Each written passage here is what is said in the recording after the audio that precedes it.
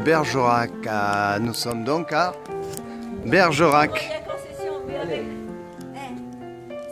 Pause.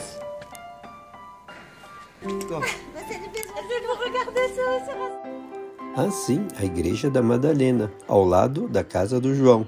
Ou será que é o contrário? Est-ce que tu content avec ton bacalhau Monsieur David, qu'est-ce que tu penses On pourrait croire qu'on est au Portugal.